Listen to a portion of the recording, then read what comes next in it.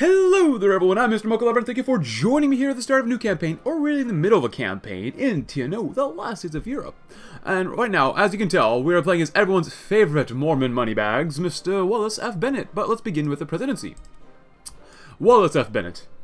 He, the man, has been elected as the 39th President of the U.S. in these tumultuous times. He has promised to be a force of stability and compromise, refusing to take a hard line on most issues. Instead, of course, he believes that a nuanced approach, with input from both sides of a debate, is preferable. He has also laid out plans to strengthen America's position both within the OFN and beyond, with a myriad of economic and diplomatic programs aimed at uniting the planet's remaining bastions of democracy. There are some who argue that his policies are weak and that his compromises will ultimately leave nobody happy. However, with his personable nature and his willingness for dialogue with anyone, President Bennett, Bennett might just be what America needs at this moment in history getting the fire extinguisher, and on the radio. Let's get the radio on first, because we can. We need the people to be on our side, but they won't respond well to a plea for unity from a faceless government body to this end. President Bennett has come up with a splendid idea. He shall speak to the people directly. He's clearly popular enough, given the people voted for him. We've also requested some time slots with some national radio stations, which should the president may engage in some fireside chats where he will present this case for a truly united America in a casual, personable manner. President Bennett will not just be the leader of the American people, but also their friend. Inheriting a war, though. A painful realization strikes the newly elected commander-in-chief as he takes office. The war in South Africa, uh, South Africa rages, still rages on, and proved to be one of the most first issues that requires presidential action. It's evident that the longer the war rages, the less favor the people, populace, and military will bestow upon it. Hence, it is necessary to develop new measures to take control of the war in South Africa, drive out the radical Boers and Germans, and secure an American victory in South, South Africa. The president will save us, and if you want about that one, please go ahead to a prosperous future and an appointment of Edmund Muskie. Everyone were to think of an ideal candidate for Secretary of State, Edmund Muskie, he wouldn't be it. He's reserved, blunt, and relatively inexperienced in foreign affairs, but with all that said, Muskie has a lot going for him. A Treasury, Treasury Secretary Robertson is a reward to President Bennett's conservative backers. Secretary of State Muskie is an olive branch for, to the liberal wing of the Republican Democrats. As Maine's governor, and subsequently senator, he's championed civil rights and environmental protections, bringing Maine fully into the 20th century. Depending on who you ask. He's either the right man to represent America on the world stage or a lily livered provincial who's better off sending pork back to Portland. As one editor rightly put it, Sending Muskie against the Germans would be like sending a three-toed sloth out to see turf from a wolverine. I guess we'll just have to wait and see. So, honestly, with Bennett, I, I have no idea which way I really want to go. Oh, we have an inherited disaster program, uh, expanded role. Not bad. And of course, we do have the 1964 military policy outlook, which we can do later on. Now, we can either go with token reforms and lower relationship with the Church of Latter-day Saints and raise the relationship with Republicans and make the draft more liberal, or don't rock the boat. So do we want civil rights or not? Because right now, with the election, we did pretty darn well with the Republicans. 46, there are 22 Democrats, which is not great. There's quite a bit of far right here and some centers, so we'll have to figure that out. But also, like, South Africa, this whole thing is, I mean, it's, it's basically over at this point. It's, it's so dreadful sometimes just trying to fight through all this muck and grime of the Africa Shield. Deployment of Absalom Robertson. Absalom Absalom reads more than one witty editorial headline with the nomination of Absalom Robertson to the post of Treasury Secretary. The reference to Dixie literature is adroit, but Robertson himself is a serious man. A scion of Virginia's powerful Byrd organization, Robertson firmly believes in the camp of conservative Southern Democrats, adamantly opposed to any sort of integration. His appointment assuredly a sop to President Bennett's supporters in Congress, but also as many in the opposition worried. The Treasury Department has a great deal of power over taxes and audits. What might it do with those who come out against Bennett's agenda, especially with an conservative in the driver's seat. And then there's the new production company that his son Pat is setting up. Pat Robertson. Oh, sounds kind of familiar. Deo Vindice. Hmm. Cool. And of course, it is only 1965, which means we need to expand everything that we have. Oh, they offer ceasefire. Nope. Come on, get in there. Come on. I hate the South African war sometimes so much. It's so boring and I don't know. I just I wish there was more we could do with it. So I, I, half of me is just like thinking you know what we're going to do? I'll just use console commands to get rid of these guys, maybe. We'll see what happens. Guys, like... Oh, appointment Robert McNamara. Oh. Uh, it would be unfair to call Robert McNamara... Robert Strange McNamara a man of numbers, and numbers alone, sure. He's made his name as Harvard's youngest professor, helped Ford, save Ford from its post-war fiscal chaos, but McNamara has a fair share of ideology. In contrast to those who call for the razing of Japan or German Africa, he wants a Pentagon to take a more measured approach. Fewer first strike capabilities and more deterrence. Fewer rigid doctrines and more counterinsurgency. To his supporters in Congress, McNamara is a man who will shake things up, rationalizing the business of war in a new era of conflict. The question remains, though, will he truly change the Pentagon, or will his efforts get bogged down in the old system? Let's hope he isn't derelict in his duty. Nice. I get more infantry attack and defense, and get some more population. That's nice. Uh, Maxwell, did you have any upgrades? No. Kind of disappointing, but whatever. Yeah, we couldn't send a whole bunch of soldiers over here, but on the radio. Oh, what do we have over here? Oh, boy. Oh boy, political landscape. Uh, American society is disunited, which is not great, but whatever. Uh, Supreme Court, it's fairly conservative, but not by too much. Um, let's see what else we have. So, don't rock the boat. Maintaining a relationships with the different people of America is no small task. Bennett, a campaign under promise to not rock the boat, and dare no sails be caught on the whim. The lower relationship with, with Group B, the more likely those groups will start, start to defect to the NPP. The higher relationship all will be the easier it will be to swing voters to our side. Player cards just carefully Bennett, for every concession we make to one will bother the other. Every year, our relationship to each voter base will be put to the test, but also following major decisions. American businesses is very high of us, as well as uh, which will affect our GDP growth. Foreign businesses is middling, which affect OFN Unity and interest rates. The Mormons uh, is very high and affect our strength in Mormon majority areas, influence our ability effectively campaign, and have various other unexpected results. Catholic opinion is middling, as well and affect our standing in non-Mormon religious strongholds, which is weird. What Catholic? Like, okay, if you're going to talk about Catholic, I mean, he's Mormon and all, but like, why not like actual mainstream Protestant then? Like, hmm. Democratic opinion of us is high, affect our standing in the South, and the Republican standing of us is very, very high. So ease of fears of American businesses, raise relationship, appeal to the Mormons, we can raise to the Church and State Catholic peoples, concession to Dixie, encourage accept adopting refugees. I don't know about that. Invite the Pope to D.C. Hmm, build the Kennedy Memorial. That wouldn't be too bad, actually, probably do that. Um, denounce civil rights protests. South African War, of course.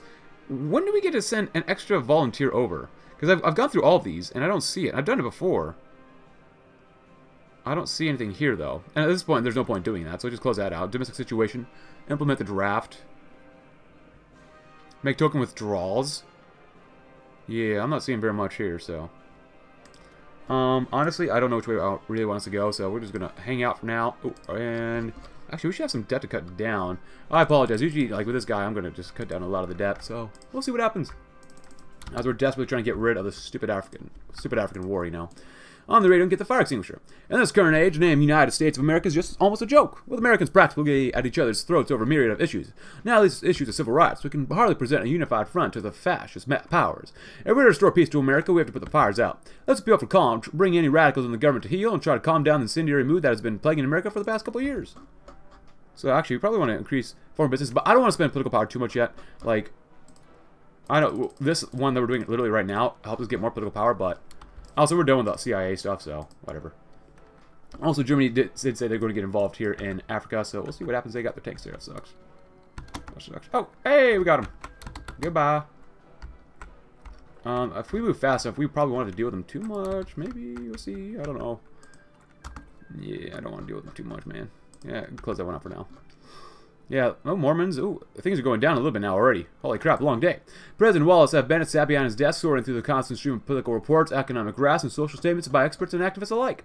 Despite the difficult winter, his administration has managed to put together quite a substantial list of successes, but he could not. I had a shiver as the door opened. In came Absalom Robertson, armed with an intimidating set of reports and an armory of pens and pe uh, glittering from his breast pocket. Well, Secretary Robertson, come in. How's the day been? Been open. You know how it's been. Wet, cold, windy, some hellishly angry, angry governors from the Rust Belt barking about federal funding.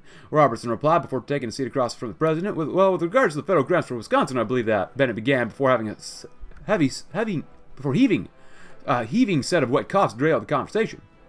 Robertson looked nervously at President Bennett. As he rocked in his chair, the president's face darkened as the violent uh, coughing spell continued. After what seemed like an eternity, President Bennett managed to regain his composure, even as the world spun, spun gently. His mind raced. He had never dealt with such a coughing fit before. Robertson, with, for his part, looked worryingly at the president, having received no answer to his question. I'm quite fine, Secretary Absalom. Where are we? Where were we? Where are we? Where were we? You know, I can't tell what we're, what we're doing anymore in life. Get some more expertise. That's fine for now.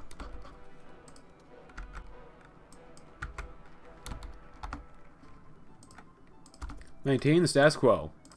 Now that we're in power, we must firmly put our foot down against those who would seek radical change in the system. The American government has been a bedrock of stability since 1776. Any necessary change has been made perfectly well, with due process and gradualism. The radicals who believe that a system needs to be turned upside down only need to look at Germany and Japan to see the inevitable outcome of such a sudden change. We'll keep the government going as it always has, ensure that the moderates of the RDs always hold the balance of power. Yeah, we'll see about that. We haven't gone radical, Bennett, but maybe we will in this campaign. I don't know. We'll see what happens. The days grow harder. President Bennett, rather than committing himself to his usual diligence, decided to take a rare break and instead to look out the window, in a rare moment of appreciation. If only sight could undo the chill he felt. It felt abnormally cold, colder than any winter he'd known. Ever since the coughing fit experience during that meeting with Secretary uh, Robertson, Bennett had anxiously wrestled with the question of his age and health. No matter, the leader of the free world. No small matter, at least. President Bennett, of course, walked down the halls figuring that talking to the loyal staff might clear his mind, but he could not skip that fact that, were he to expire in office, his staff needed to know what to do. America was constantly changing and shifting country, and strong leadership would be needed to keep it grounded in safety, security, and just sanity. After a long walk, which had frankly failed to clear the President's mind, the sight of Frances Bennett, First Lady of uh, the U.S., was a wonderful, welcome sight. Well, it's a rare sight to see you out of the office. How are you doing, Frances? Bennett said, offering her husband a kiss. Well, I wanted to. Well, uh, the president said before a thunder set of coughs racked his pale frame, leaving him in his wife's embrace as she called for the staff, with the VP Ford rushing from his office to support the faltering president. Poor Frances, gotta help me. I'm fine. I'm fine. You have to help me. I'm, he's fine. What do you mean? He's fine. Get down here just in case we get, like, encircled and stuff, so. The Republican support is very... Why is it always going down so fast already? Do we really have to spend this much political power this quickly? I do not want to spend that much this quickly already. The Medium Meteor. And the Lord shall lay hands on the sick, and they shall recover. President Bennett, despite his physical hardships, clasped his wife's wife tightly as he prayed. Despite his pious devotion, President Bennett found his mind wandering from the prayer with persistent worries regarding the outside world. And here he was, laying in bed, as sick as a dog, praying to God to grant him strength. VP Ford walked in after attending Bennett's morning meetings. It's good to hear that you're doing well and all right, Mr. President, he said respectfully. Bennett raised his head as best he could to hear what his vice president had to say about the world beyond the White House. So, what's it like out there? Well, it ain't the prettiest sight, and about your condition, some of the staff gave out too much information before we could stop them, but none of them de delved into the specifics of the pneumonia, but Ford laid the morning's paper on Bennett's chest. The president fumblingly gripped the newspaper before it brought in, looking at the headlines. President Bennett, bedridden. It was crushing, humiliating. Bennett had sacrificed much for the betterment of the country, and now some nasty pneumonia was trying to do him in. By God, we'll get through this, in a plea from the English. Our dearest friends from across the Atlantic, so began the most groveling and pitiful request the U.S. has ever received from the English. They clearly were in desperate need of American backing, which normally would be accepted without a moment's hesitation, however. What the English government was proposing required a lot more assessment to be made. They were planning on invading the Cornwall garrison, which had ravaged the country since invasion in 43. It was a dangerous move, to say the least. With such a dangerous man in control of the Reich's military, a German response could all be, be inevitable. Yet the invasion would be such an unexpected move for the Germans that it may free England of their influence and pave the way for the U.S. to step in. Thus, a huge blow would be delivered to the Germans, and an incredibly strategic ally would be gained in the process. Ultimately, the decision had to be made by the President, who thought to themselves for no longer than a moment before making up their minds, they have lost their minds. Manono. Um, we've set up the South Africans to do really, really well here, as you can tell, but... I don't want to do this. Foreign businesses, appeal to Mormons. Here, do that. We'll try that one. Church is fine. Catholic opinion is, eh. eh. Dixiecrat is middling, which is fine. Uh, lower relations with Republicans. I don't want to do that. I don't want to rock the boat too hard, but we'll see. the fire extinguisher. Maintain the status quo. Pretty much, man. And Bennett we trust. The days we started to blend together for President Bennett. It had been a good few days since the speech on national TV announcing his recovering health to the country and assuring them that he'd take care of them as they faced a difficult winter together. Nevertheless, began between the coughing, breathlessness, and the fatigue, pneumonia was a special kind of heck for Bennett. VP Ford entered unannounced, startling Bennett. Well, I was knocking at the door for a minute or two there. You didn't hear me? Bennett blinked, confused, before nodding once again apologetically and motioning for Ford to continue. The Australian diplomats are coming to iron out some of the details within the Open's military arrangements. Ford trailed off upon seeing the president's attention wavering. Wallace? Uh, yeah, the Australians. Can, can, can, we postpone the meeting and arrange dinner with them next week? That'll make them happy, Bennett responded. Uh, Ford's eyes narrowed. The Australians have been asking for a meeting for months. Just do it. I already have enough on my plate, Bennett barked, leading Ford to nod slightly before he left the room. Can I get, can I get, can I get any peace? Can I, can, can I please get some peace? Peace and quiet? Can you guys actually win there and get some tanks? Yeah, I guess so. My goal is always to encircle on respiration racism.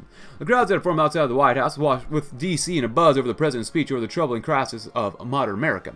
No one could precisely pin down what the president was going to say or how he was going to address the uncertainty of the future, but all agreed that President Bennett did not look healthy in the slightest. Good morning, Bennett said, before briefly pulling up away from the microphone to avoid his coughing spurts echoing nationwide. I'm a God-fearing man. I was raised under his gospel, and now I minister as president in service to him. I must say we're in a chaotic state of this country's history.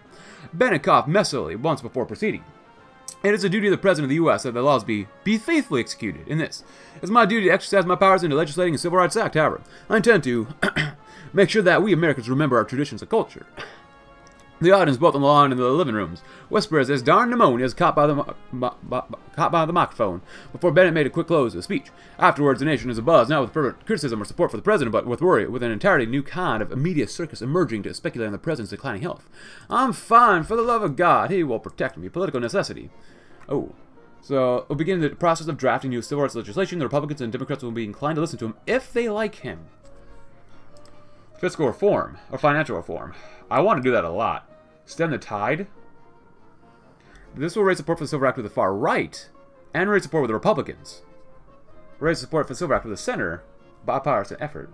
Jack up the prices. Um, I really don't know which way I want to go. I kind of want to go with token reform. Because right now, what we have uh, is very light domestic discontent, whatever. Somewhat high. We already have token civil rights legislation, so great push, the voices of the people. I mean, the Dixiecrats already don't like us, so uh, it won't really matter. Take the floor, fine line, empower the Republicans. Liberal democracy. Power the Democrats. Honestly, that seems like a better way to go, because we have...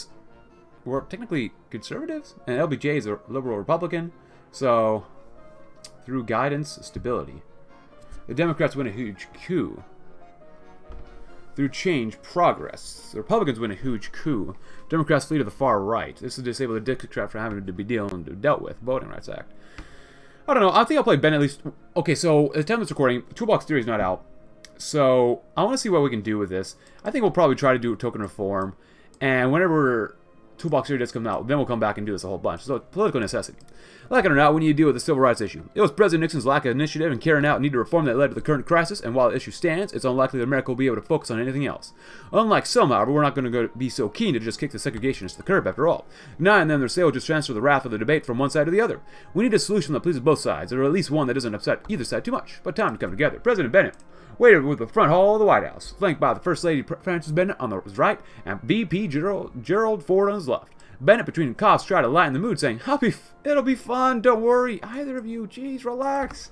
It's a few weeks prior, the president's been seen in a deteriorating state. More tissues occupied his desk space and reports continue to build up on the former's favor. Wallace, dear friend, listen to yourself. Frances' words, words dissipated as tears ran down her face. You are worried about this pneumonia is going to kill you if you don't slow things down and the present, The trio mounted the stand for a second surprise speech for the president. I want to say something simple, something I want to make loud and clear. I am sorry. I'm embarrassing you both, myself and the administration of my civil rights speech with all my ill health. This bout of pneumonia has affected my work and well-being, but I shall go henceforth in acknowledging my limitations. To make sure I can perform my duties as well as I can, the crowd remained shocked, studying the president's public acknowledgement, before a sense of care and concern for the president welled up. Not for me, but for them, by bipartisan broadcasts. President Bennett sat behind his desk, determined to get through the workday, no matter the chills shooting down the president's back or his coughing fits. Bennett found the idea of stepping aside an absolutely disgusting breach of duty. No matter how many pills he took, no matter how many breaks he needed, no matter how many times the amount of nurses he had stationed inside the White House, he would not back down. Finding another coffee, picked up a letter on his desk, President Bennett. I hope that this letter finds you well. It is with great understanding towards both your health as well as suffering of my inner city constituents that I can say that this past winter was terribly difficult for the country. Everywhere you looked, men, women, and children fell ill and suffered, unable to access proper care. To the extent even when our leadership was struck ill, nevertheless, it's a common humanity that binds all of us, from the God-fearing Midwestern farmer to the worker of the Great Lakes. And it is with this common humanity that I pray for your swift recovery and that your administration may quickly resume its effectiveness. Mr. President, uh, know that I will move on an NPP to help you without malice. Godspeed, Michael Harrington. Kindness found is kindness gained. He doesn't care, probably wants me to step down. Probably does, but that doesn't mean that Jack Squat did a thing to us. We got a lot of build. Uh, cut and keep spending. That's fine. Because we're going to need that political power no matter what we do. A slippery slope, though. We're going to need a lot of political power. and we're going to need another uh, a helicopter. But President Bennett knew that was nearly time to close up. Work some, rest some, choke down some food, and continue working. The work of government was too important to be stopped here by mere pneumonia. Mechanically, President Bennett opened the last letter on his desk. President Bennett. The community by which the U.S. was founded upon finds solace in the unity and the grace that binds them. Men working arm in arm from the forests of the east to the marshlands of the south to the dusty trails of the west. Men have torn themselves over matters far less important, and yet in the trying times life has presented you with, you still find grace uh, in your words. I know we have very different notions about religion and God, but humility speaks for itself. Despite the nation's recent difficulties, Americans remain hopeful for a more prosperous future, but the work is never done, and in that regard, the American worker still suffers as you do today. I hope that the unions may be granted the freedom to help every American during these trying times. Best wishes, Michael Harrington. He's got some nerve, man. He's got some nerve. Party unity. Republicans will like us for a while. But, um, we'll do sep separation of church and state. I don't know about that, man. That sounds like a good thing to have sometimes. An integration of church and state. Anyways. Maintaining status quo and political necessity would be nice, nice, nice. Yeah, they have got a lot more divisions than what they had before I started recording this. I don't know how, though. Come on, South Africa. Harrington harassing the president. Recent also have was shown to publicly struck down by the recent outbreak of pneumonia in the U.S., with the president refusing to back down from duties as chief uh, chief executive of the U.S. Some have come to support the president's diligence, including Michael Harrington, who has sent several letters calling for the administration to revisit union policies. The administration insisted that President Bennett remains healthy enough to continue serving as president, despite his illness, and has denounced Harrington's overtures. It's sick, it's predatory, it's disgusting, remarked Donald Reagan, President Bennett's chief of staff. Meanwhile, supporters of Harrington cried out in shame regarding the chief spokesperson's seeming disregard for the president's illness. This has become a, such a point of contention with several chapters of the center branch of the NPP, with one leader commenting that Harrington's action in making making the health of the president a political issue was a misstep which affects our entire party. A misstep along Harrington's path? Oh well.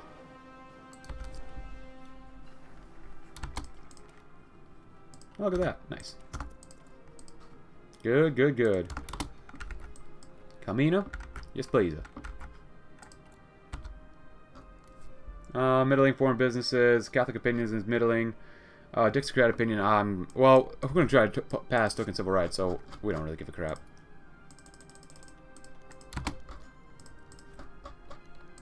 A greater dawn upon a brighter day.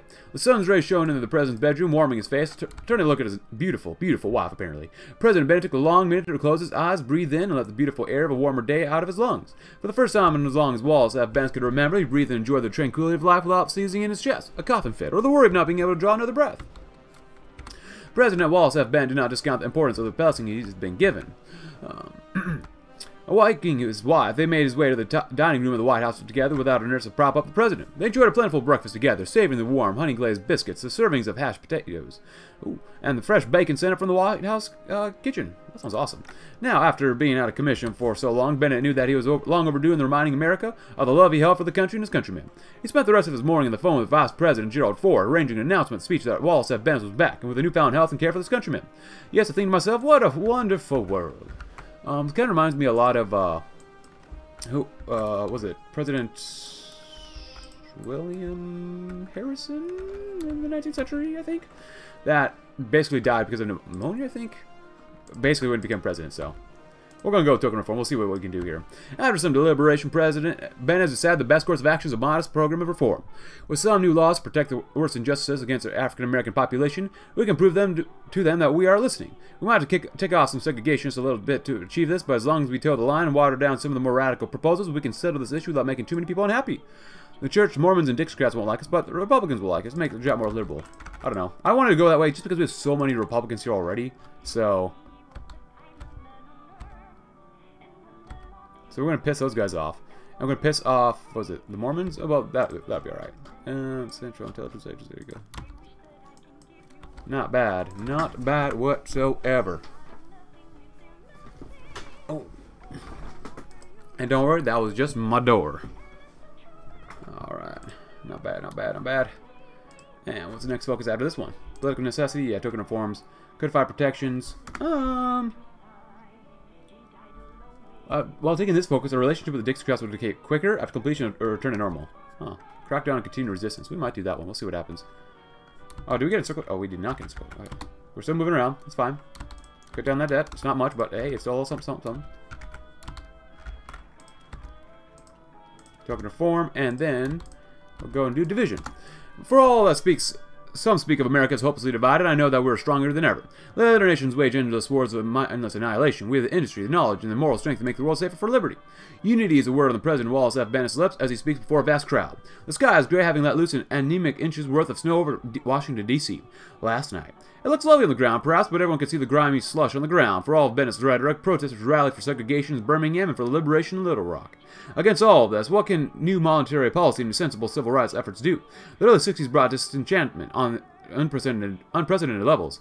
Bennett might want to turn the page, but the U.S. of A. might not be finished with the story. I, Wallace Foster Bennett, do solemnly swear. A crackdown on continued resistance. A down clear the streets. Protests and riots are still going on across the country, and if we are to ensure civilized debate around, we must put an end on these constant battlegrounds. We'll increase police funding and send them out to round up the worst troublemakers and order the rest of the people home. To avoid accusations of political favoritism, we'll crack down on the violence of both sides. If either side wants to be listened to, they need to start acting like adults. Now, the reason why I don't want to go this way is just because it'll lower relationship with the Republicans, and we have so many Republicans here. It's ridiculous. Way too many Republicans compared to uh, Democrats. So, yeah, and uh, keep it vague. This will dangerously lower relationship with the Republicans. And like I said earlier, we have so many Republicans. 46 is a bit much. The call from higher up higher. On certain days, President Bennett would seclude himself in the Oval Office in the mornings with his advisors, planning out his next actions. The quiet work of politics was one of the best done without distractions. A knock at the door. Followed by Nate peeking into the room. He looked at the, his feet for a second, then pressed on. You've got a call, Mr. President, from Salt Lake City. Uh, Mr. Thomas Monson? I'll take it in here, thank you. Bennett had closed the distance in a seconds before closing the door firmly in Elliot's face. A call from a senior leader in the Church of Jesus Christ of Latter-day Saints most definitely did not need to be advertised by an incautious aide. The phone rang and President Bennett took a deep breath before picking up. Mr. Monson, what's occasion for calling today? Brother Bennett, I want to talk to you about the civil rights speech you gave the other day. Monson wasted no time getting to the point. Don't you think we should be giving dialogue time to work? Rushing through early earthly solutions won't do much to fill the spiritual void between the races.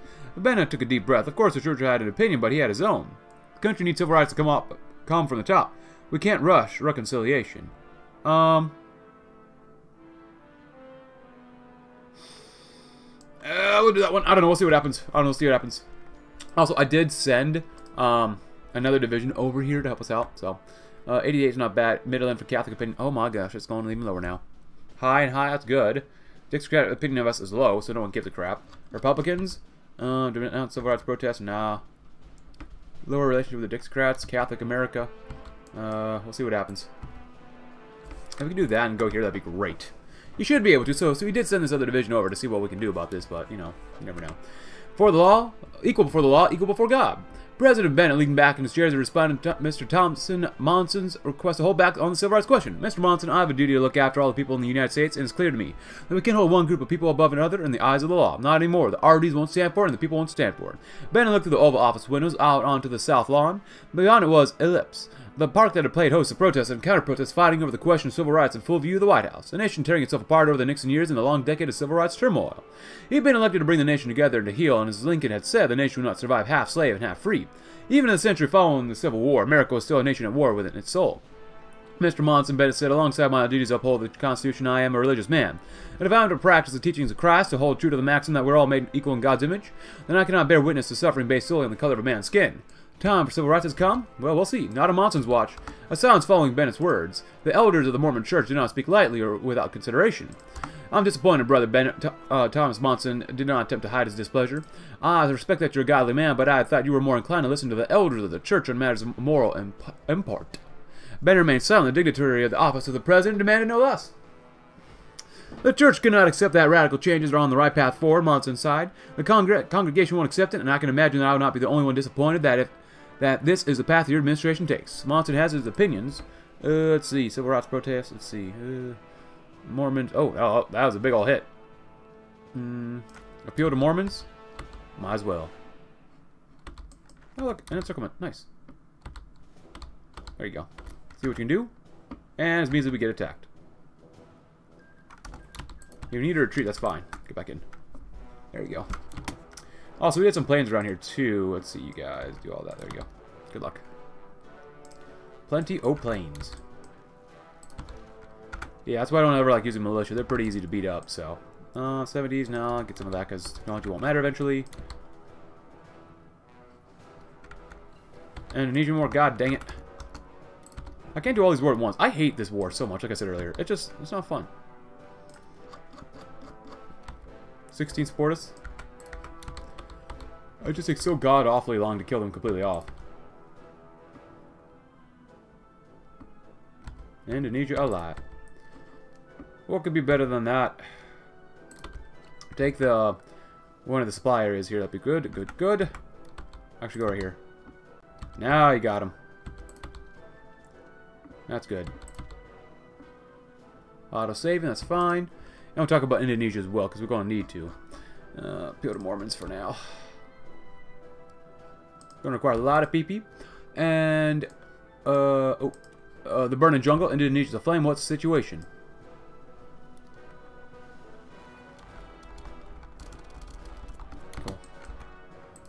This one's more important to get to. Victory for the DC. Alright, very cool, very cool, very cool. Very low, very high, middling, middling, uh, pretty high, Catholic opinion. Uh, how many Catholics live in the United States? Can we just ignore them? no, you, you go here. Dixiecrat complained. Say that President Bennett uh, move towards civil rights has been unpopular is quiet. The understatement exemplified perfectly by the tantrums of the Dixiecrats. The general old white and Southern Democrat caucus has existed in some form uh, before the Civil War, though now uh, most vote NPP. They are notoriously stubborn, and now that particular characteristic, characteristic is shining through. Several Dixiecrat senators have threatened to filibuster the upcoming bill pushed by the Bennett administration, including Strom Thurmond, the NPP senator from South Carolina, generally considered to be the current head of the Southern Caucus. One thing is certain: as long as the Dixiecrats are up in arms, the civil rights bill has no chance. Another temper tantrum, typical. Indonesia aflame. Our analysis predictions regarding the Far East Indies has proven frightfully accurate. Sukarno's attempt at using martial law to solve the crisis with the PKI has been a dismal failure years after, after years of frustration with the despotic administration. Liberal Democrat Muhammad Hatta has risen up against Sukarno under the banner Free Indonesia. While Sukarno may stress that everything is under control, Hatta is moving swiftly to seize the country, having already taken up large swaths of Aceh, Borneo, and Papua. This could be a critical opportunity for the United States to gain a new ally against the Japanese domination of Asia as long as we act quickly. The jungle burns and pick up the red phone. Given that both of us are nuclear powers, it stands to reason that we must tread carefully when interfering with the co-prosperity sphere. While Japan seems to be in control by a level-headed man, we still must be careful to toe the fine line between isolationism and being mavericks. We'll place a call to the Japanese on the red telephone. We'll show them that we have no interest in sending Japanese boys home with American bullets in them, yet our commitment to democratic movements around the world brings upon us a moral obligation to support those who fight for freedom in Indonesia, reminding them of Indonesia's technical independence and sovereignty. We'll caution them against launching an intervention into the East Indies and remind them that threatening the freedom of a sovereign people may have dire consequences. Uh, let's see, the MVP. Oh, oh, War of Words. Oh, we'll see what happens then. Raise domestic support for the war? Yeah, we'll see what happens after this one then. Conversations from the Street Indonesia Calls. Uh, I think I've already read this one before, so if you don't read this one, please go ahead. Dixiecrats cool off. After several weeks of what ostensibly a tantrum for the Dixiecrats, things have finally cooled off calmed down enough that the civil rights bill can move forward. Strom Thurmond uh, now claims that the Southern Democrat caucus will attempt to kill the bill through a vote, not through a filibuster. This comes as welcome news to the largely RD Congress, who are confident that any attempt that the anti-civil rights movement makes to stop the bill from passing will fail. President Bennett gave a short comment today in a press conference, saying that he was happy that the democratic process is now being respected. Democracy prevails finally? Well, who likes democracy? More divisions go bye-bye? That's exactly what we like to see. We've, uh, actually, we've done really, really well. Like, having these guys flood through here is a pretty good idea. Alright, so Midland, Midland, Midland, Midland, and very high, very high, like that Catholic opinion. Uh, build a good... They hate us anyways, just do this one. Nice. Operation success. Uruguay loves us? Oh, you bet they love us. No real point to keep doing it for now. Intelligence analysis is fine, but other than that, eh. And now they've been cut off. Oh, they had helicopters of their own. Well, they did. Can I send volunteers to them over there? It's a little ahead of time. 65. Uh, maybe that's something like that. Can I send you guys, boys? Oh god, yeah, I might, I will probably go off. Yeah, we can. I'm probably gonna go off screen and just like help these guys out, like, because I hate this South African war. It just lasts too long. I know I could peace out earlier with them, but no. I'm sorry. It's either go all the way in or don't go all the way in. So, there is no middle ground with me. I go from one extreme to the other. That's that's who, just who I am. Um, 80, huh? That and well, that's all we got. Okay.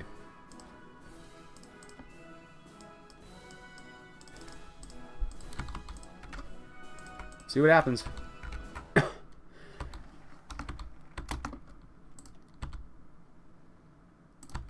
Boom, there you go.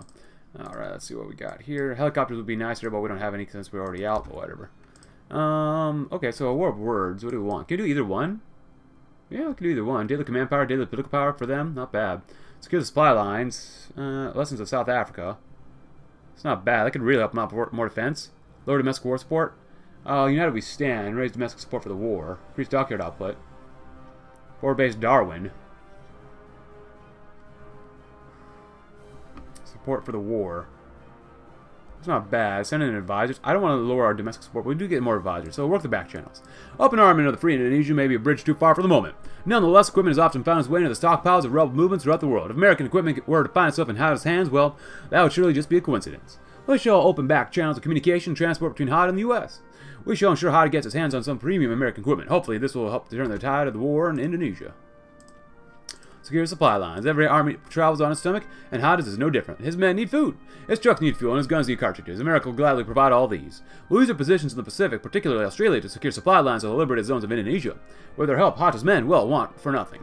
We can only hope Japan is less generous to Sukarno than we are to Hatta. Alright, so what do we got here? Oh, yes. Send more military advisors, lower domestic support for the war. I'm kind of okay with that, honestly. Domestic situation here, huh? Okay, yeah, uh, RD support is middling. Eh. Anything else here we really care about? 90, uh, 82, 25, no one cares. Catholic support. Haven't got that much more support yet. So we got what? 23 uh, guys here? That's not much.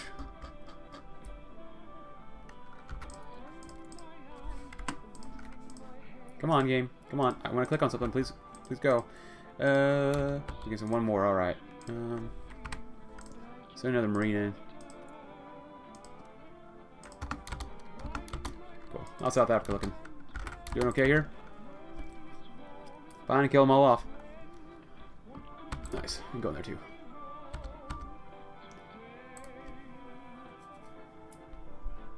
There you go. Nice.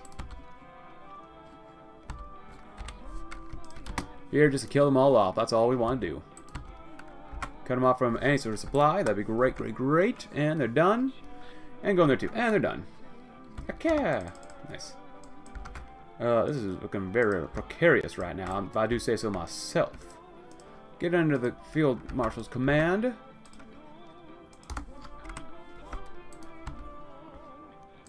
Uh, no. I know we could just peace out, but no. I'm sorry, but no. I'm not sorry, no. I ain't sorry at all. NPA, very nice. Has also arrived here too. There you go. Nice you win. Nice. Secure supply lines, very good, very good. You should be able to win pretty easily, not gonna lie. The battle for Italy should begin soon too. Oh, actually go right there. You're gonna need some support. Secure supply lines, lessons to South Africa.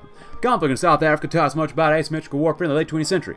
Our troops are battle hard, and our attaches may have uh, insights to offer hot to freedom fighters. We'll send the U.S. Army Rangers to teach the Free Indonesian entrenchment tactics, to improve their defensive capabilities against Sukarno. We'll also teach them logistical techniques that improve their mobility and ability to stay organized while on the march.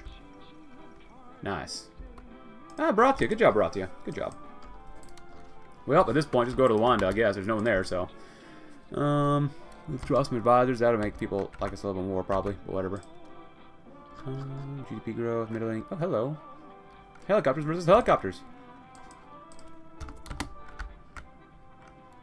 Morm's very high. American businesses. Saturday morning's Tom and Jerry. About that, please go ahead. Hey, we got Salute West Africa. Good job, guys. Good job.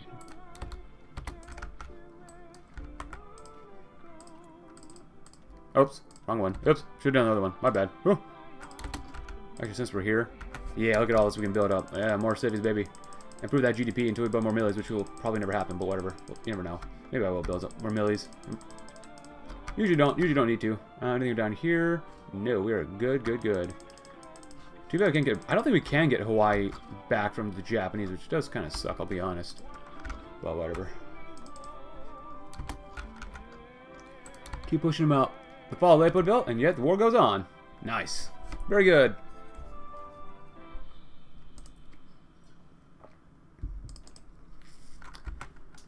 Um, honestly, go up this way. Go Brazzaville.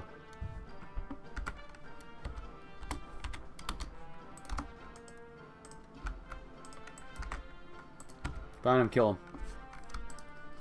I'm go up to Libreville. Lessons to South Africa. The advisors. Uh, actually, I don't want to do that. I don't. Eh, yeah, I don't want to do that. No. Forward base Darwin. Australia is the closest ally to the Indonesians. The northern tip of the country is one quite one quite populous city, Darwin. This area could serve as an important launch point for any action taken in the South Pacific. We'll offer to construct vast fortification networks in northern Australia in order to brace for the coming conflict to the shores. These bases will also be excellent points from which to deploy troops to Indonesia. Followed up with emergency tra naval training, hidden hand. Um, honestly, do we really need to do this? Raise domestic support. You know what? I don't want to do this one yet. War of words. Do get some more political power. As the Indonesian conflict unfolds, it's critical that we control the conversation surrounding it. While the American everyman might not have much of a reason to care about Indonesia, by framing the situation as a struggle against their Japanese enemy, we might win their hearts and minds. We'll always hit the airwaves and ensure that the world of ours and our own people both know the righteousness of Hatta's crusades and cause. Those to induce our people at home to sympathize with the Indonesian struggle for freedom, as well as assure the free Indonesians that we have their back. And get more political power. Yeah, get more political power is probably like my main thing here right now. Oh, they're going to probably encircle us maybe eventually. You know. Go around this way. Pointe-Noire. No, no, no. Pointe-Noire. No. Stop it. Stop asking for peace. I already told you no once. Go up here then.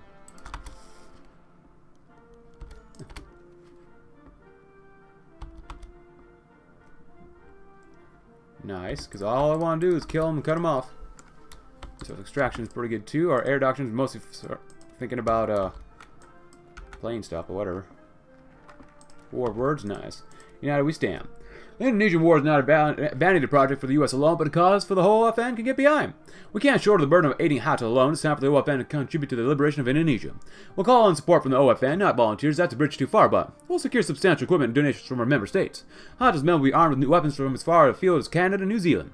Let's hopefully, hopefully greatly aid their independent struggle. Other than that, I think we're pretty much done here with this stuff. Uh, another milli would be okay, but I wanted that political power, you know. That PP is too much for me to resist. There you go. There you go. Beutlerstadt.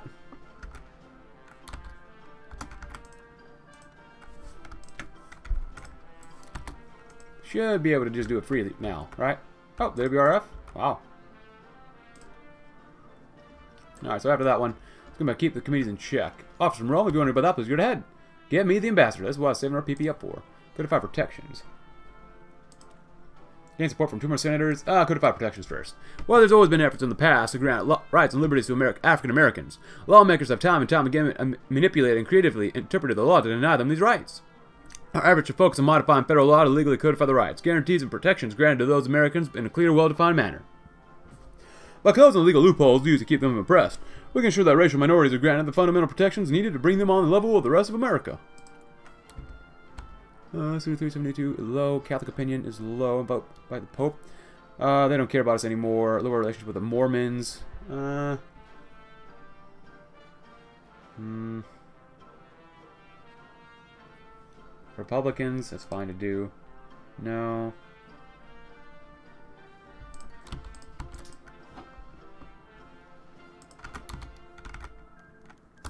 A loss of opportunity. Well, god dang it. If you're wondering about that, please go ahead. I'm just going to go ahead and uh, do some funky stuff off screen because I, I sometimes I get sick and tired of how these stupid wars start and go. So I'm going to do some funky stuff off screen, and we're going to make sure that Free Indonesia wins, as well as we do United We Stand, followed up with, of course, Codified Protections. Civil rights in Charlotte. Despite the ongoing tension occurring just past the curtain President Bennett sat behind, the president could still pick up on the whispering voices of the thousands which had gathered to enjoy the speech. Tonight's dinner was watched by all sides. But as North Carolina become a staging ground for a variety of movements, both radical and reactionary, now we welcome President Wallace F. Bennett. Charlotte's mayor booming into the microphone as a round of applause thundered out, adjusting the mic. Bennett spoke good evening to those attending tonight's event, as well as those who may be watching from across the country tonight. As I stand alongside my fellow Democrats to turn yet another page in the world and twists and turns of the history of the U.S. For centuries, many regarded African Americans as common commodities to be used and traded, even igniting a conflict which tore a nation asunder. It seemed as if the air had been sucked out from the hall. Was the president about to defend the segregationists or punch them in the gut? Regretfully, we continue to witness injustices with African Americans suffering social, political, and economic wrongs at every level of society. While my fellow Democrats are not adhere to tradition and conservatism, this is by no means justification or approval of the prejudices faced by African American citizens today. It is shameful that some continue to stand against the average American based on the color of their skin. The administration will work to the end of these wrongs once and for all. It had to be said. And also, I did use consequence. I got tired of this. I don't care about the civil right. The civil rights. No, I don't care about civil rights. I don't care about Africa. Uh, but yeah, I don't really care about Africa, so I just get. Uh, I basically just won the war and freedom. Oh, even Madagascar still exists and they're not looking very good. Same thing with Indonesia. I don't care anymore. I've done it so many times that it just does not interest me anymore. So, oh well. I apologize for using consequence for that part. It just it's boring at this point. I've done it so many times. I, I don't want to deal with it anymore. But voting station inspections. Voter suppression is a major issue that's been figured by civil rights activists. Minorities are often prevented from voting through a myriad of obscure regulations, a confusing registration process, and a lack of non-English language materials. We should seek and send out inspectors to certain problem areas to make sure everyone is being offered their democratic rights. This should also make us more popular among the civil rights movement without annoying the segregationists too much after all. We're just enforcing rights people should already be entitled to. Office from Rome, once again, if you wonder about that, please go right ahead. Give me the ambassador. And keep the committees in check. How about one great push? President Biden wants the civil rights debate settled as soon as possible. He's gathered the lawmakers together for a marathon session that aims to introduce a rapid-fire sequence of laws to vote. He has hopes that if we can get the issue dealt with quickly, we can keep it out of the news cycle for a lengthy period, and thus lessen the anger segregationists might feel towards us if than if we were to allow the process to drag out. The time for idling is over. Let's get this issue sorted out once and for all. And anything else here? Um, probably not too much, honestly. Yeah. And of course, people don't like us or hate us, so... Yeah, people generally like us too. And Civil Rights Act, how are we looking now? 39 and 6 and 1, so... Yeah, but which means the next time I play is Bennett, if it's before Toolbox 3 comes out, which might be possible, um, I might just go the other route. We'll probably just go the other route. Uh, so we have about 46 senators, which is not bad.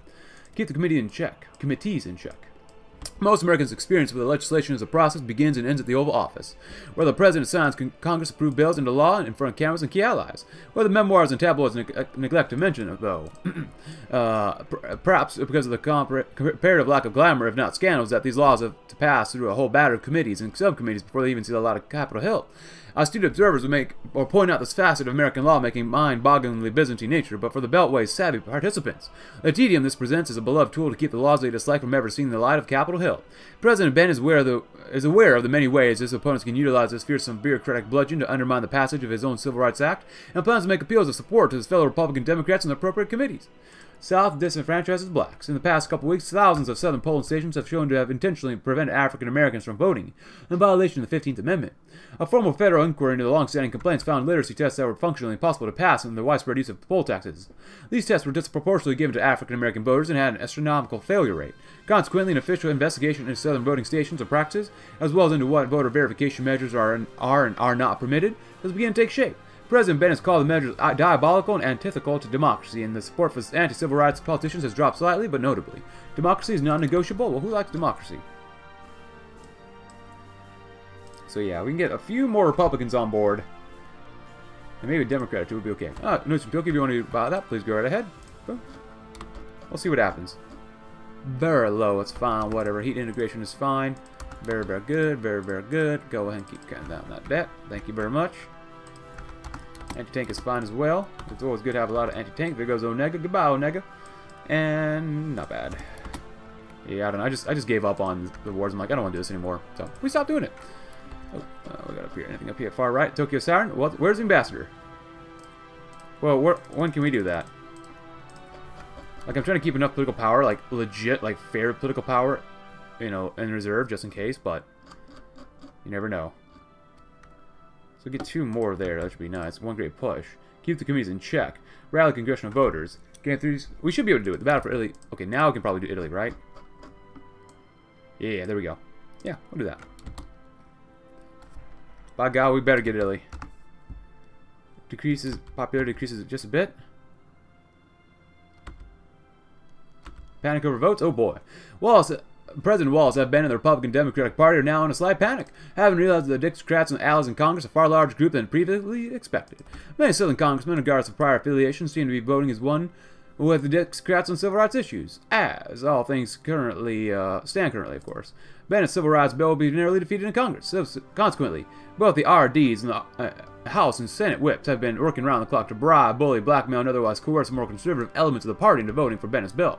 This situation is particularly worrying as it is becoming more and more apparent that some compromises may need to be made with the Democrats if any civil rights legislation is going to be passed. It's going to be tight. It's going to be very tight. Nice. Uh, better today, tomorrow. Uh, better tomorrow, today.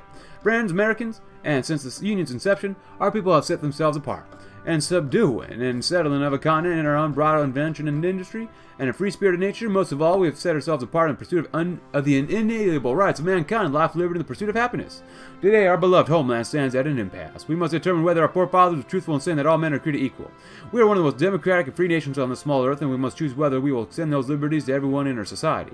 We are asked whether we will use our wisdom to build a country where progress is the servant of our needs, a society in which the old, restrictive, and oppressive values of the past may make way for the unbridled march of liberty. So I ask you, the people of America, to make the right choice, to continue to let our nation be a beacon of freedom and progress. Let the U.S. be the city upon the hill once more. I ask you, America, to pass a civil rights bill. I ask you to build a better tomorrow today. The crowd was silent for a moment, taking in the president's words before breaking out in furious applause. From his podium, overseeing the masses, Wallace F. Bennett smiled warmly. The public seemed to be on his side. Strong words from President Bennett, who, at least right now, is in good health. So, what do we want to do? Increase our influence? Decrease Japanese influence?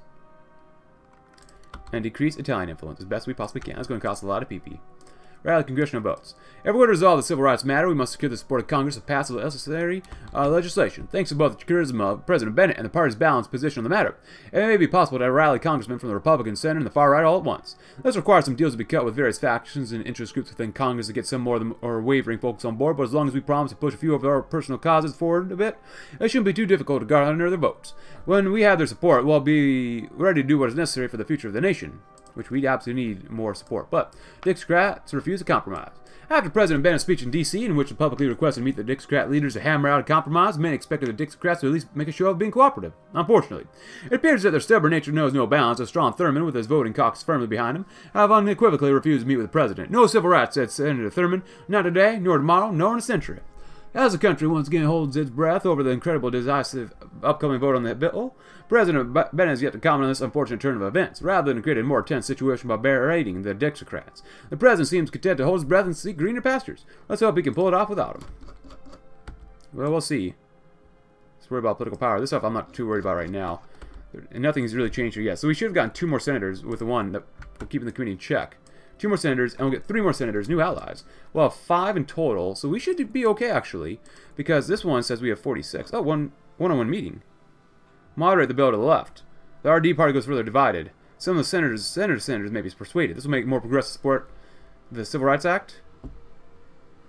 New allies is that Dixiecrats can uh, continue to cooperate. President Bennett has been forced to find another, another way to pass the Civil Rights Bill currently. The President and his RD allies are looking for friends among the left and uh, center-leaning NPP congressmen. In addition, some of the fence-sitting Democrats and the RDs are likely candidates for recruitment into Bennett's new voting group. Today, President Bennett and Senator LBJ are meeting with several members of the group, most notably the CN CNPP's Henry Jackson, attempting to swing them over to the side of the civil rights, as of right now, though. These alliances are just beginning to take shape, and whether or not they'll actually be able to pass the bill remains to be seen. With the day Congress votes on the bill growing closer, one wonders if the president will be able to form these alliances in time. Who needs them Dixiecrats anyways? Before we blow on anything else, because we're going to not have a lot of political power with this whole Italy thing, which, who knows, maybe the Elders cheat that too, but, um, yeah. We gotta get Italy in. We gotta get Italy. in. We have to. We absolutely just have to. Uh, cut. Spend. Nice. Uh, mountain infantry is nice. There you go rally congressional votes. We'll do the best we can, man. We'll do the best we can. As we get a sip of our coffee here. Alright, so, there are two senators who have pledged to vote for the bill irrespective of the party affiliation.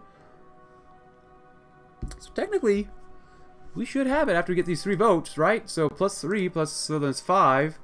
Five plus 46 is 51 out of 100, or really 98. Uh, should be good enough, right? An acceptable solution. Well, we'll read that one once we're done with this one. Can we pass civil rights in the first episode? That's my question.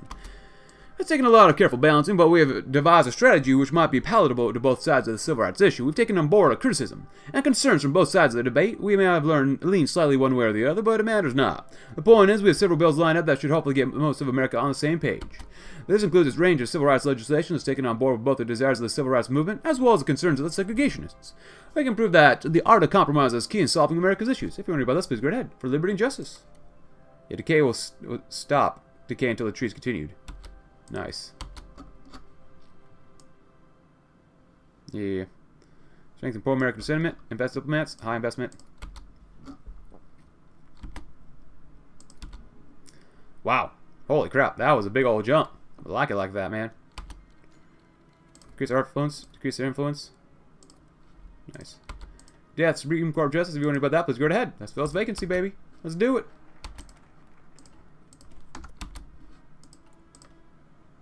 Alright. Uh, expand counterintelligence. Nah. We good. Don't rock the boat. We'll come back to that in a little bit. Republicans' desire is middling, which is not very good. Uh,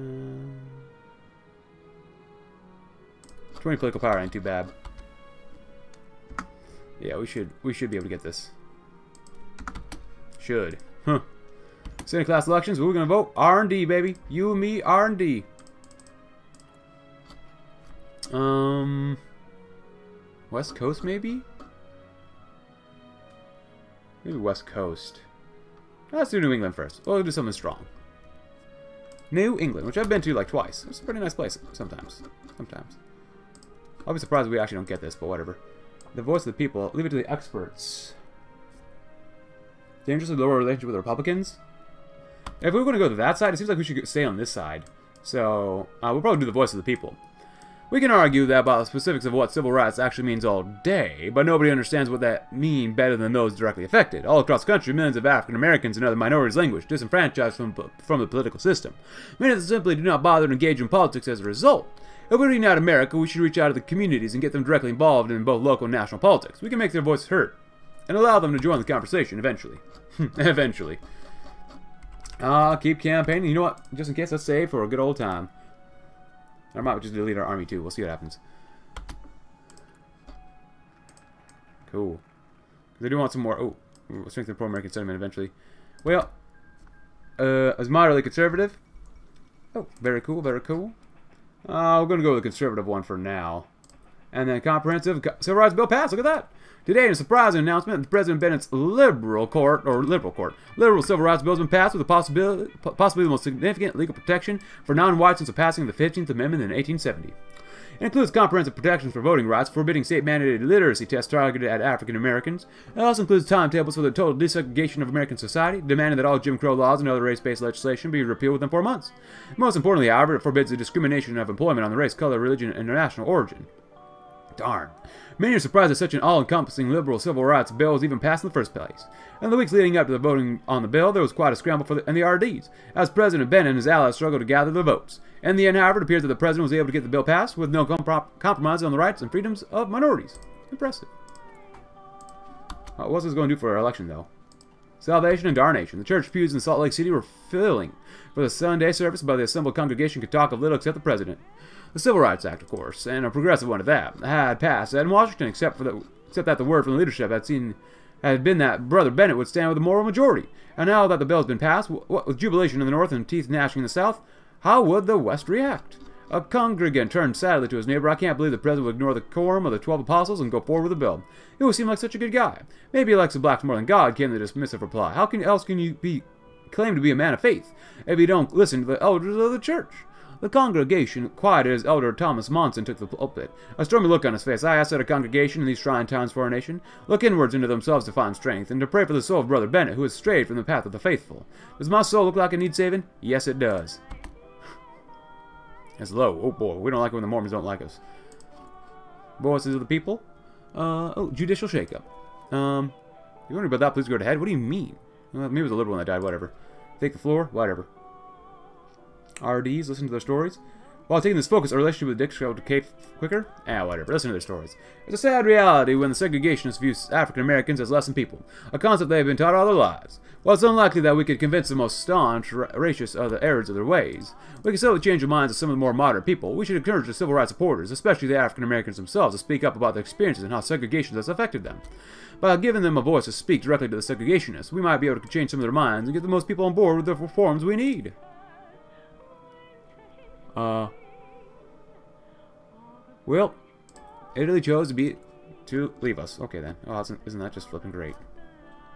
I don't know. We'll, we'll see what happens. I might force them to stay with us. You know, you never know.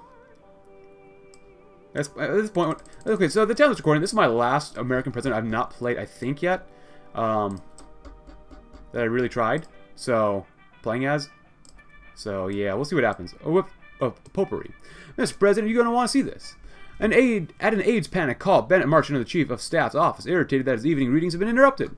The White House staff, Vice President Ford amongst them, was huddled around the TV showing Michael Harrington being interviewed by CBS. Why didn't you tell me you were talking with Mo Thomas Monson, Mr. President? Ford whispered. Bennett froze as Harrington launched into his tirade. Anyone who pursued a career in politics or took civics classes as a kid knows the separation of church and state is sacrosanct. Heck, every Kennedy has had to dodge accusations of being a puppet of the Rome, and I'm no different, even if I'm a lapsed Catholic. Harrington stabbed his pencil in the camera. So why does that Mormon church in Salt Lake City have a direct line to the President of the U.S.? I'd be embarrassing if it weren't such a downright danger, especially given Elder Monson's words about the recent Civil Rights Acts. Ford pulled Bennett aside. I'm not going to question your right to talk to your priest, but I need you to be straight with me now. Did Thomas Monson influence your decision on the Civil Rights Act, and should we say anything about it? Yeah, well, what's the big deal? We talk to our priests. What? Like, just talking to them doesn't do much. I told Monson no. Uh... Yeah, it doesn't have the full story. God dang it, Harrington. What are you doing? What are you doing to us, son? Listen to their stories. Real change? Since we're going this way, symbol of peace? Symbols of progress? We're going to go radical here. A few days after Harrington's interview with Walter Cronkite, President Bennett stepped out of the White House where a waiting throng of journalists for comments. Mr. President, regarding Mr. Harrington's statement earlier this week, is it true that you've been speaking with the elders of the Mormon Church about policy? On the question whether I've been in con contact with Mr. Monson, yes, I have. Bennett's frank admission. Still the crowd into silence, but no, if you're wondering whether Mr. Monson had been in undue influence on the policies of my administration, he has not. But what about Civil Rights Act? A reporter, having recovered from the initial shock, blurted out the obvious question. Bennett shrugged. Well, if you actually read the text, there are many points on which Mr. Monson and I disagree. Mr. Monson's opinions are well known, but we don't see eye to eye on everything just because we share the same faith. Bennett chuckled as the reporter's pen scribbled fiercely. I don't know where Mr. Harrington got the idea that a man's faith is his policy, but it's a remarkably sloppy one. You come with the king, you best not miss. Is that bought two threats? Um, I want to decrease Japanese independence, or uh, Italian independence. That might help us out. That's as much as we're going to do for now, because we're, we're dangerously low on PP, so... Okay, we got more PP. Let's spend some more PP. Uh... There you go. Should make us feel better. If not, might do some cons commands. I don't know. We'll see what happens. But this coffee's pretty good too. Pretty darn good. The perfidious Finns escape justice once again. Nice. Keep counting down. Polls are updated. God, I hope we don't lose too many support here. Not too much support, at least. Alright, Siberian Black League. Anything else around here? As long as we keep... Well, technically we're for the Democrats, but... As long as we keep doing okay.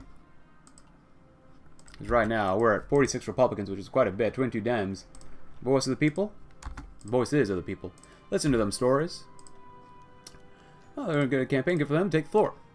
With the policy direction mostly decided upon, it's time for us to convince the party to support our policy. Whether, while we are unlikely to change the minds of those staunchly against us, we can still win over those wavering in the middle who remain ambivalent. By taking the lead in the debates on the Senate floor, we can gain the necessary support we need to see our course through to its conclusion. All we need to do is talk to get people on our side and talk to them. A Congress next daylight savings times. If you want about that, please go right ahead. Spring forward and fall back. Italy chooses a future. Didn't we already choose this one? If not, I'm just going to go back and give myself political power because I'm not going to waste political power with the Italians, so yeah. Because we're already here. It's, it's going to happen again, but screw it. We'll do it again. Why not? Uh, boost cut. High investment. We'll see what happens. Whole balancing act is kind of weird, I'll be honest. Very weird. 152 billion ain't enough. I know I should probably really focus on the economy and stuff first, but whatever.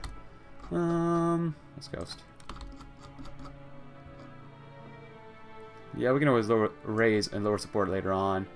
Um, there we go.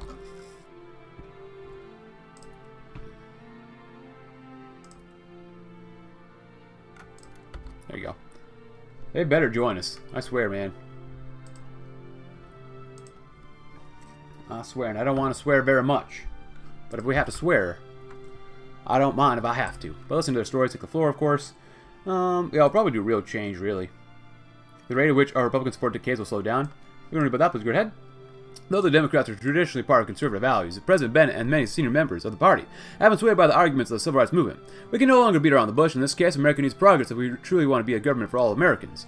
While we won't take things as far as some of the other parties are suggesting, we'll provide some real reform that will guarantee the political rights of African Americans nationwide. Segregationists will not be happy, but we can no longer deny that the current system is unfair and deeply flawed. Cool. And empower the Republicans? An excellent campaign? Awesome. We'll Muslim empower the Republicans too, because why not? Well, our turns tur towards more liberal politics has greatly pleased our Republican partners, who are glad we have managed to bring forward progress on the civil rights issue without burning down the country.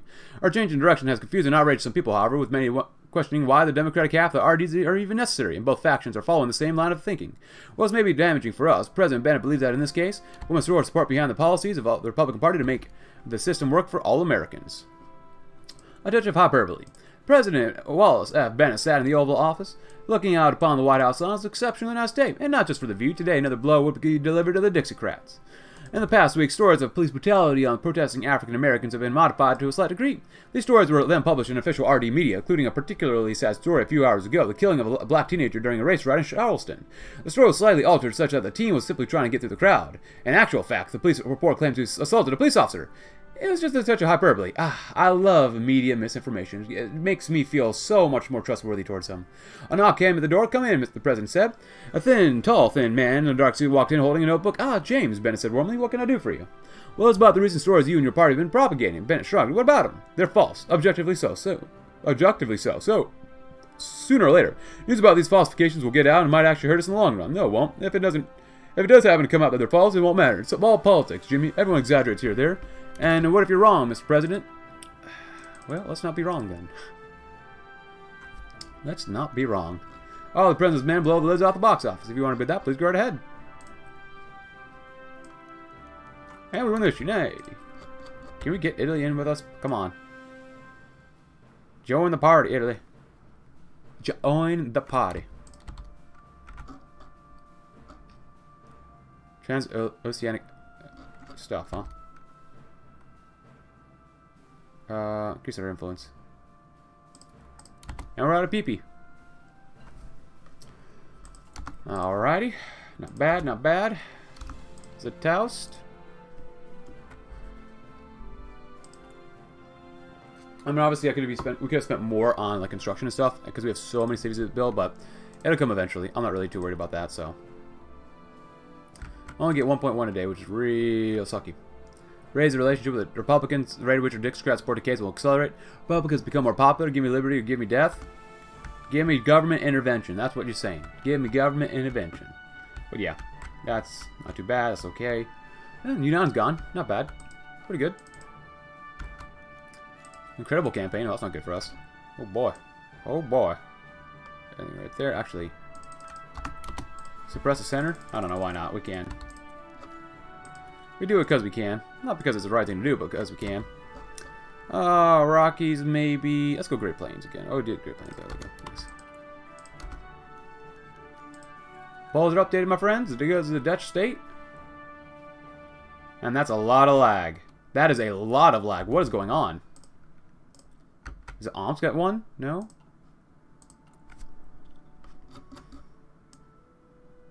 Republicans will still like us a lot, which is fine. Uh, what's the political landscape like? RDs are working together well. NPP is willing to put aside their differences. Not bad, not bad. Real change. Power Republicans because you can. Take the floor, which we'll do eventually.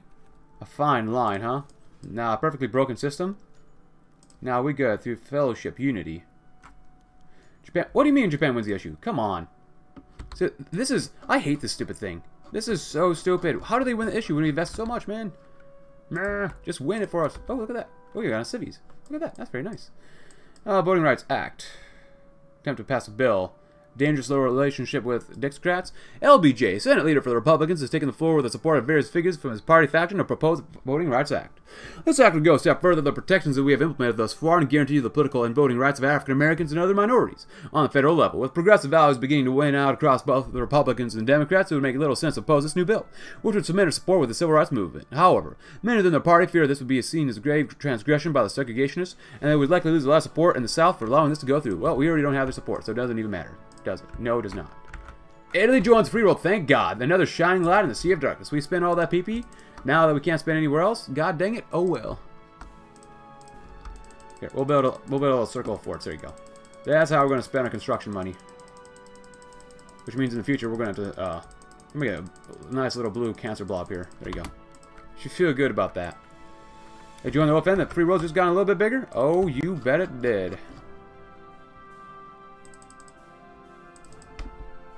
Not bad. Not bad at all. Little to X. If someone doesn't show mercy to people, Allah does not show mercy to him. These wise words of Prophet Muhammad, be peace be upon him, were the last comfort of Malcolm X, the final threads of rope firmly grasped and not fall off a cliff. Whenever he watched Klansmen march through the streets, whenever he drove through the neglected streets of the Bronx, whenever he watched that empty suit known as Martin Luther King spout empty platitudes and about forgiveness and love, he felt like he was going to snap. Reciting that mantra in his head dozens, hundreds of times sort of dampened the seething hot rage deep within him, but it didn't fully extinguish it. It merely funneled it into productive thoughts, a fervent drive that turned him into one of America's biggest civil rights advocates through nothing but his own labor. However, the comfortable knowledge of the fact that the eternal oppressors would get their just desserts in Jan Jahannam wasn't enough for Malcolm. He had no patience for the afterlife. He longed for racial justice in this world instead of the afterlife, and he dedicated his entire life to this cause, going as far to change his surname to highlight the systematic destruction of West African culture waged by the institutions of slavery. No actions were too radical, no words were too dangerous when it came to dismantling the century-old white supremacy that defined the U.S. since its inception. Malcolm X made lots of enemies over the years. Millions of people wanted him gone, and he already came to terms with the fact that his death will likely not be a natural one. What good is an activist if his actions don't challenge firmly entrenched powers? No, his mission never ends. As long as the proverbial knife sticks in the back of the black man, Malcolm would fight on no matter how. The eternal struggle. But I think that's going to conclude today's episode, my friends. If you enjoyed it, leave a like, subscribe if you're new, check out my Discord link in the description below if you haven't already, and let me know whenever I play as Bennett again someday. What should we go the opposite route and get, don't rock the boat? Regardless, thanks for watching. Have a great, great, great, great, great rest of your day.